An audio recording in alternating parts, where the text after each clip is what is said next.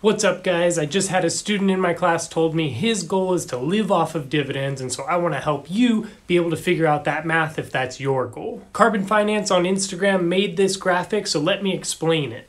First need to know what your living expenses are going to be and for this example we put 40,000. Next is figuring out the dividend yield and so for American Express we have $140 times 0.0135 for 1.35%. That comes out to 1.89. Next, you take the 40,000 in annual expenses divided by that 1.89 gives you 21,164. That's telling you how many shares of the stock that you need. So you times that number by the 140 here, and that gives you this number here. The higher the yield, the less amount of stock you need to own to cover that 40,000.